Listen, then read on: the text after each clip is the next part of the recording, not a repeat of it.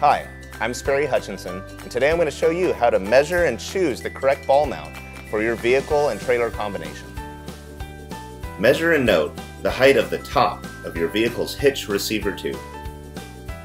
Level your trailer, then measure and note the height of the bottom of the coupler. Subtract the height of the trailer coupler from the height of the receiver, and this is the amount of drop you need in your ball mount. If the vehicle's receiver is lower than the trailer coupler, this measurement will indicate the amount of rise you'll need in the ball mount. Note that U-Haul trailers are designed with a standard coupler height of approximately 18 inches. Use this measurement to order the correct ball mount online. For more information, visit uhaul.com or refer to the user's guide available at your U-Haul store.